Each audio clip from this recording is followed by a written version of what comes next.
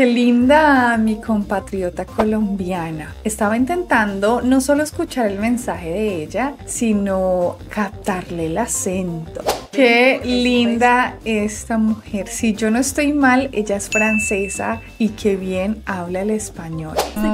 Oh, qué bonita también ella. Dice que empezó a conocer de la cultura hace cinco años. Ay, esperen, esperen, yo tampoco entendí lo de la cola. O sea, ella colombiana no es. Por lo de la cola,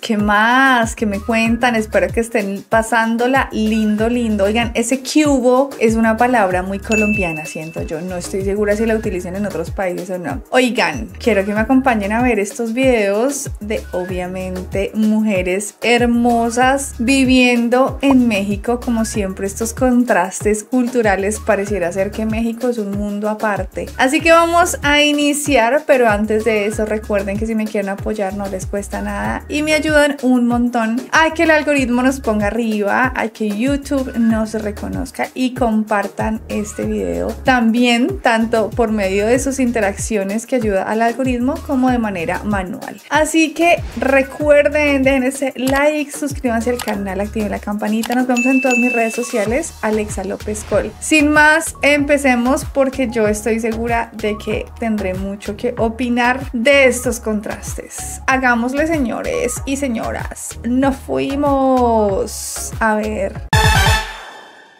Vamos a empezar con esta chica y ella dice, la independencia de México siendo extranjera, choque cultural. Vamos a hablemos del shock que da, Hablemos del shock que da vivir en México siendo extranjero en estas fechas. A ver, soy colombiana y vivir la independencia en Colombia significa que ese día no vas a ir a trabajar porque es festivo, vas a ver un desfile conmemorativo y pues si quieres sacas tu banderita a la ventana y pare de contar. Pero a ver, vivo en México y mi esposo es mexicano, por ende ya es el segundo año que voy a experimentar otro grito de independencia y vivir estas fechas aquí en México. Esto es completamente diferente. Aquí hay una fiesta, empezando porque la gastronomía de este mes cambia completamente. Hay platillos dedicados solamente para esta época.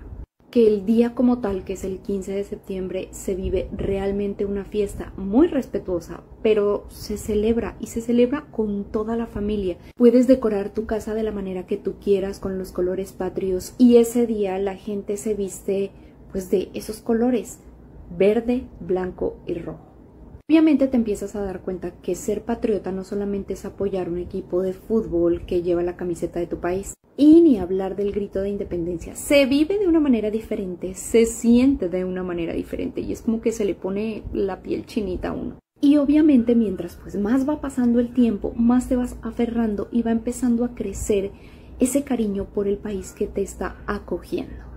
Uno empieza como a emocionarse por querer vivir esa noche mexicana con los amigos, con la familia, poder decorar tu casa, comer delicioso como nunca y eso pues como extranjero en otro país te deja en shock. Qué linda mi compatriota colombiana. Estaba intentando no solo escuchar el mensaje de ella, sino captarle el acento. No estoy 100% segura, pero creo que ya es rola bogotana no sé, no, no lo sentí de ningún otro lado, así que puede ser. Ustedes saben, yo nací en Santander, pero me crié en Bogotá, así que también soy rola.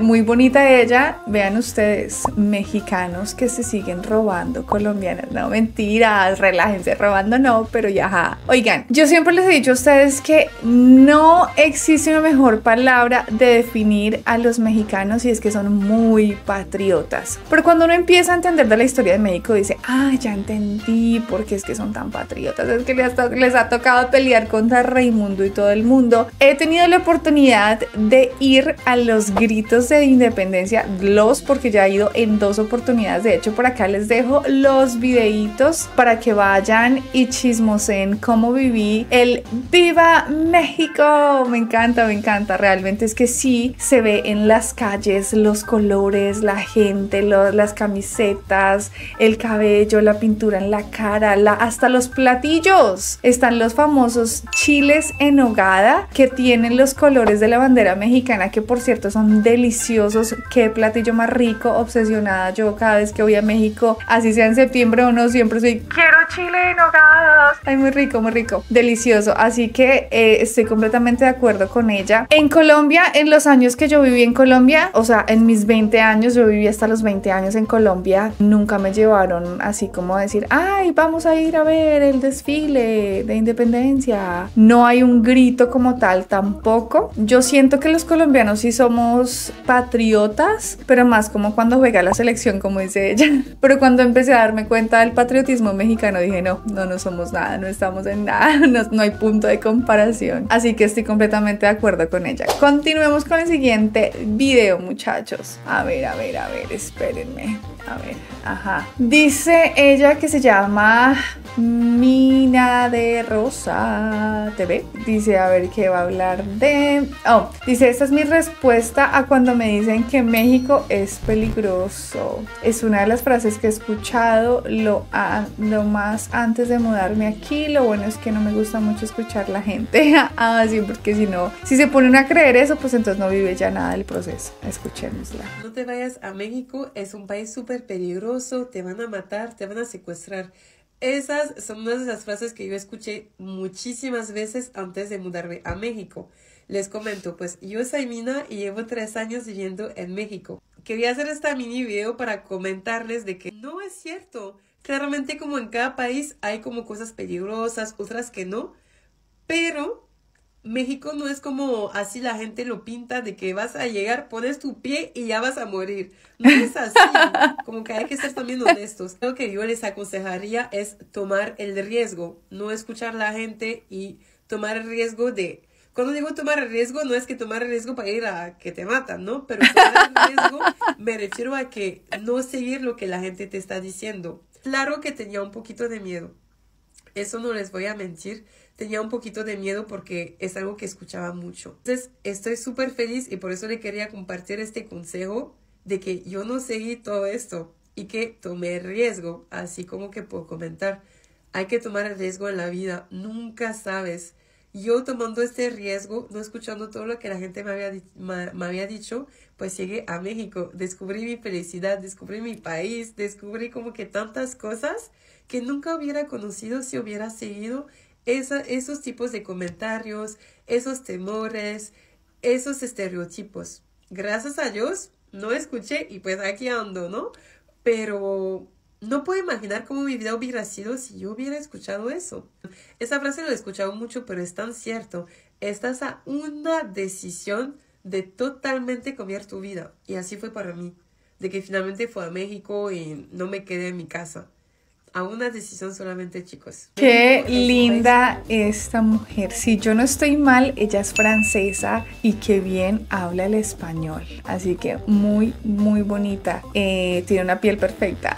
lo, lo primero que debo decir se le va así súper linda. Lo que ella está diciendo es muy cierto. Yo creo que esto aplica para todos los países, muchachos. Todos los países del mundo tienen zonas buenas y zonas malas. Lastimosamente, la desinformación y la mala fama que se han encargado de hacer de nuestros países y los estereotipos que le han puesto, ¿no? Especialmente a Colombia y México en los aspectos de ya saben qué. Y eso también incluye inseguridad, ¿no? Pero no significa que como ella dice que está medio risa porque es cierto, o sea, no significa que vas a poner un pie en esa tierra y ya vas a morir, o sea, no, tranquilos. Hay zonas, es como países desarrollados de igual forma, ¿no? Estados Unidos, una potencia mundial, créanme que yo, que he trabajado en muchas cosas en la vida, incluyendo ser conductora de Uber, en algún tiempo lo hice, me consta de que hay zonas supremamente peligrosas y feas. Así que no crean que todo aquí es bonito y color de rosa. Muy cierto lo que ella dice, o sea, no se pierdan la oportunidad de explorar una cultura, un país, un lugar por el miedo de, ay, me van a hacer esto o lo otro, la inseguridad, ¿no? Y pues especialmente México, un país que está lleno de tantos extranjeros, que tiene tanta diversidad cultural, gastronómica, de diferentes paisajes, así que yo también les hago la invitación, ya que he ido a varios lugares, vayan, mijos, disfruten déjense de cosas, lugares buenos y malos hay en todo lado. Pasemos al siguiente video, muchachos. A ella me imagino ya que la conocen varios de ustedes. No me sé el nombre de ella, pero sé que es de un canal de video reacciones. Ellos son rusos, ellos son esposos y sé que también hacen videoblogs y reacciones, así que escuchemos cómo le ha ido a ella siendo rusa en México. Soy una chica rusa que vive en México seis meses, pero ya es la segunda vez que estoy acá. Yo me enamoré en México hace cinco años y desde aquellos tiempos estoy conociendo este hermoso país. Y poco a poco les voy a contar sobre mi experiencia y cositas que amo de México. Por eso suscríbanse para ver todo lo que voy a publicar. Rusa que vive en... Oh, qué bonita también ella. Dice que empezó a conocer de la cultura hace cinco años, ¿eh? Un buen tiempo. Y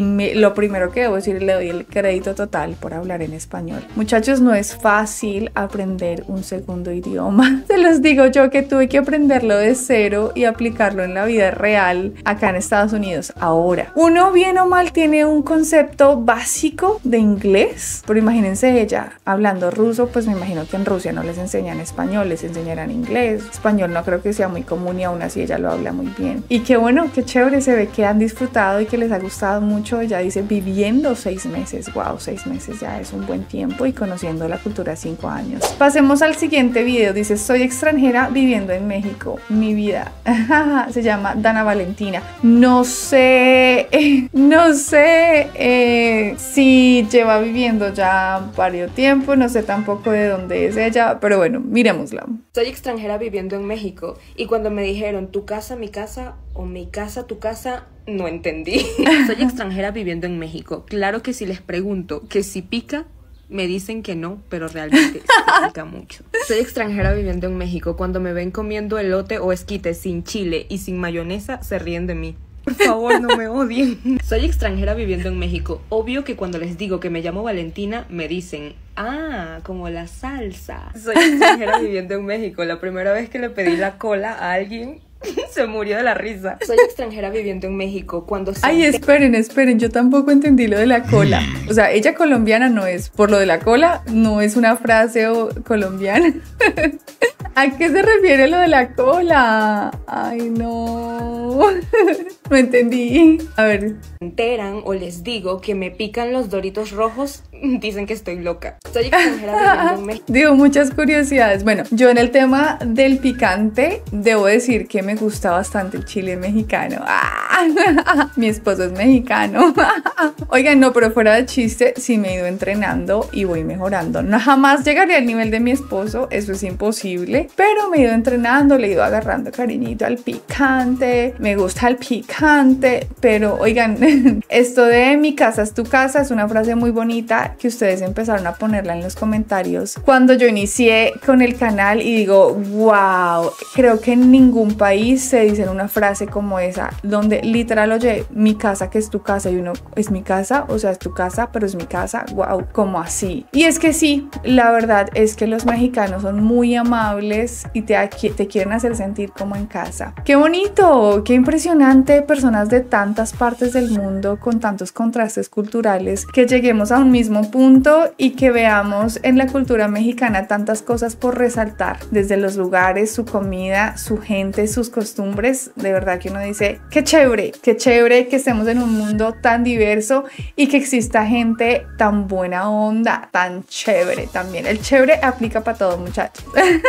Yo creo que el chévere es una frase que la utilizan en otros países, no estoy segura. Si ustedes son de otro país que no es Colombia y utilizan la palabra chévere de la misma manera que en Colombia, déjenmelo saber aquí en los comentarios, los estaré leyendo. Y también estaré leyendo qué opinan de estas extranjeras viviendo en México, de estas frases tan comunes y de ciertas cosillas. Si saben lo del comentario de la cola, de que me den la cola o será de la cola como en una fila, ay no sé. Déjenmelo saber aquí también porque no estoy segura a lo que ella se refiere. Mis queridas, gracias por haberse conectado conmigo. Recuerden que si me quieren apoyar es muy sencillo, oigan, no les cuesta nada me ayudan un montón. Dejen ese like, suscríbanse al canal, activen la campanita. Los espero en todas mis redes sociales. Alexa López Col. Decirles también que tengo una carpeta llena de todas mis chocoaventuras y exploraciones en México. Así que también vayan y vean todos esos videos. Se llama la carpeta contenido propio y pueden ver todos los vlogs de mis choques culturales también de cuando he ido a México y mis viajes. Gracias por conectarse conmigo. Nos vemos en un próximo video. Mi